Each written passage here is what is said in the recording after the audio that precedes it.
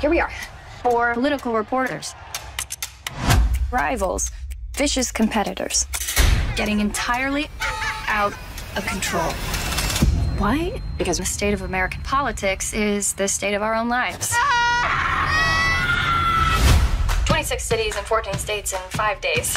I am the eyes and ears of my entire generation. Hi, Thea. How do you sleep at night? As secure as a Reagan economy.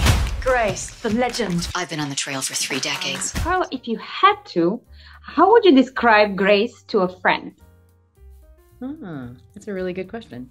Um, I would describe her as a um, a fierce journalist, a fierce journalist with a, um, a very strong belief system about journalism.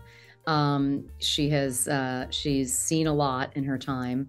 Um, she is a product of a different time, and that she surprisingly, because I don't think it's what you expect from her, remains curious and um, and actually does give people the benefit of the doubt. So um, uh, and and and and and ultimately is a natural born mentor, whether she likes it or not.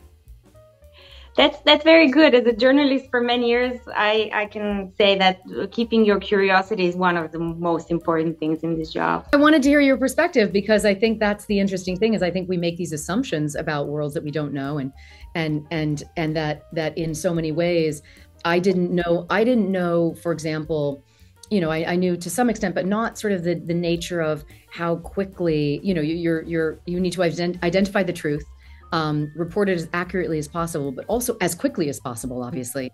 And within that comes this kind of, like we've talked about it a little bit, but there's this little, you know, you know, like in professional wrestling, they each play their parts they're in a game together. Um, they look like they're, you know, total competitors and and at each other's throats. And then afterwards, they're in the locker room and they're like, "You did really well today. And when you threw me down there, that was a really good move." You know. and so there's this kind of like, you know, it, it, it, there's something that that reminds me of that with this, in the sense that they are competitors, but they also are playing the same game and they have great respect for the other people. Yeah with I would say with the only difference that these guys maybe they really mean it. You had a great game. Well, right. most of people in journalism they say, "Oh, honey, you were so wonderful today." Thinking behind your back, well, that bitch got my part. yeah, and you do, you get a little bit of that in the show, right? Like you have a little bit of both sides of that coin did you get this number? This is serious shit. They need to work together. Oh, OTR. On the record, baby. No, no, no, off the record. All eyes on me. Wake up. It's only our democracy at stake. I have the feeling that she has a lot of uh, family related, let's say, issues. yes. um, yeah, you know, I think what's always interesting is that um, I think sometimes the the most exhilarating part of playing characters that have some things that are similar to you. Um, and also the most frightening things are are the ones that you don't really want to look at you know? Uh, and it's one of the gifts that acting gives us i think is is that is insight into our own lives. Um, and while i have a totally different uh, life circumstance than grace um, it really did make me examine the fact that when I started out very, very young, um, as an early teenager acting, that I did um, I didn't really take care of my uh, family relationships in the way that I, I could have. And I think I used because I felt that I had to be single focused on being an actor. And, and if I wanted to succeed, everything else came second. And, you know, and for all those reasons, um, by the way, and that was helpful. I, I actually think that I, I did become successful at a young age, partially due to my myopic singular focus.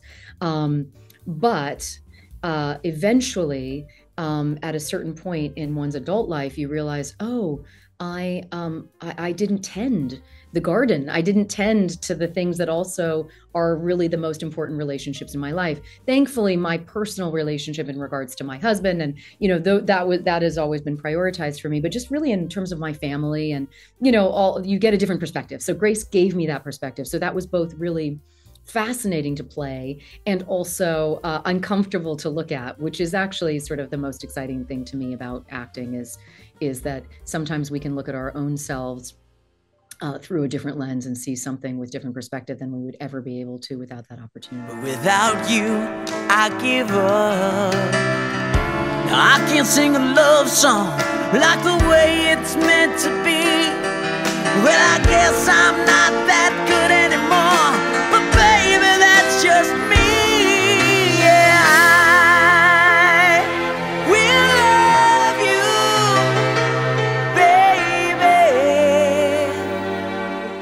I remember the first time that I saw you on screen. I'm a big Bon Jovi fan, so Oh yes, you're going way back.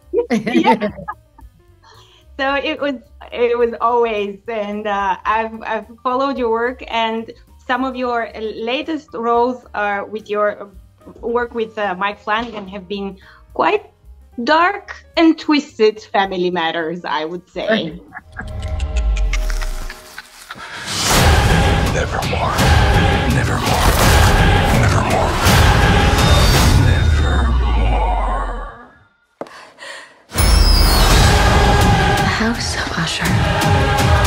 I love I love to take things that just scare me. I mean, that's really the truth of it, and and uh, and I think um, uh, you know, and actually, that's one reason why, for me, Girls on the Bus is so delightful. Is that it actually? I, I haven't done, I haven't been able to do something that has this sort of level of levity in some time, and I think that, but it's levity with quite a depth, and I think that's the thing is, if, if something's too shallow, I'm just not interested, and I'll get bored really fast. This actually is something that explores the complexity of humanity and certainly darkness and all those things, but through the lens of something that's incredibly entertaining and has a um, an ultimate belief in humanity. Um, and, and also in making, you know, it's like, you know, it's sort of the sense of humor about it, which I really appreciate. To being stuck on that bus with you crazy bitches. Yeah. All eyes on me. Cool.